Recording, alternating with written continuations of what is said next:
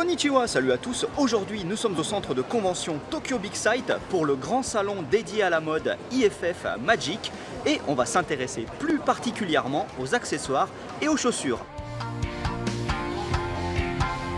Niveau chaussures, voici un stand bien original, une marque de Tokyo qui s'appelle Udot et qui a notamment la particularité de faire des modèles unisex. Vous voyez là, ça peut être porté aussi bien par des hommes que par des femmes. À côté par contre c'est plutôt des modèles masculins et d'habitude à force de porter les chaussures on écrase un peu le talon mais là pas de souci, le talon est écrasé d'office et enfin, à gauche, vous connaissez ma passion pour les poils et les moumoutes. Et là, je suis servi avec ces splendides chaussures.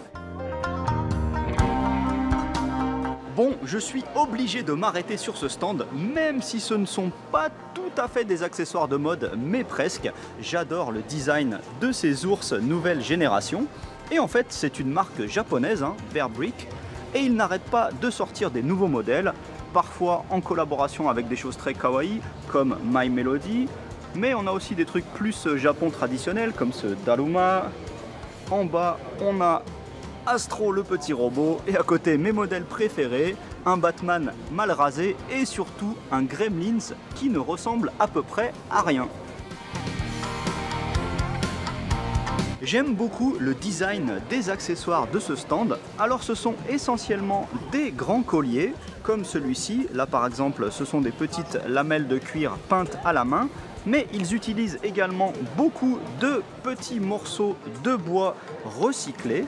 Et en plus, on peut mélanger un peu tous les colliers ensemble afin de fabriquer son propre style.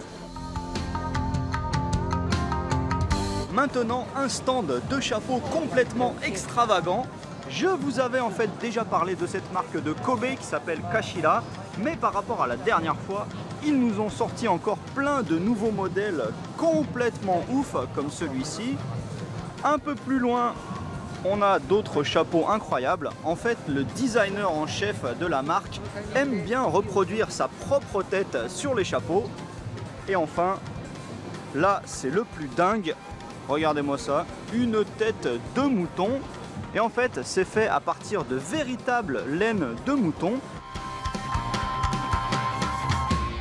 Voilà, comme toujours dans les salons de mode japonais, il y a une créativité de ouf niveau accessoires. Allez à plus, ja ne